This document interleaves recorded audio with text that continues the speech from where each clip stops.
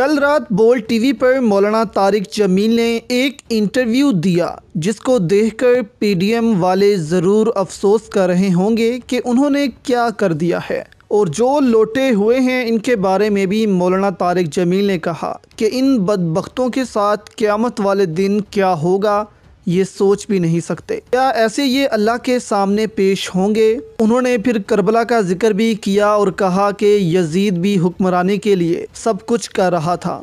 और उसकी मौत कैसे हुई, सबके सामने है।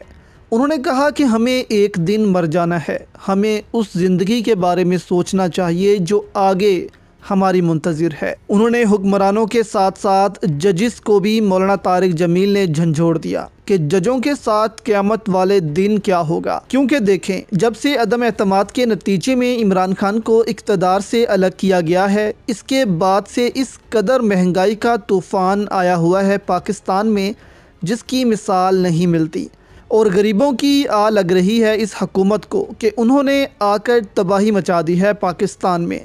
और एक गरीब अब दो वक्त की रोटी भी अफोर्ड नहीं कर पा रहा।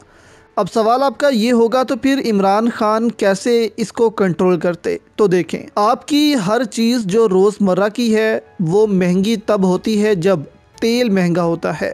यानी कि आपकी ट्रांसपोर्ट महँगी हो जाती है, प्रोडक्शन महँगी हो जाती है।